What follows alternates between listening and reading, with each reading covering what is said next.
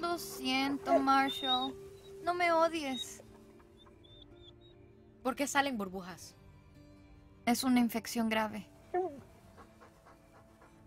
¿Dónde lo encontraste? En casa de Luke Waver. Debes regresarlo. Morirá si regresa. Están locos, tienen como 60 perros. Siempre supe que eran raros. No es el tipo de gente con quien debes enfrentarte. No tengo miedo.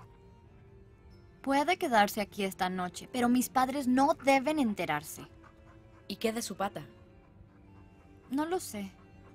Debemos llevar a Marshall a un veterinario. Voy a buscarle algo de comer y un poco de agua. ¿Está entrenado? No lo sé. Hace mucho pipí afuera. Fantástico.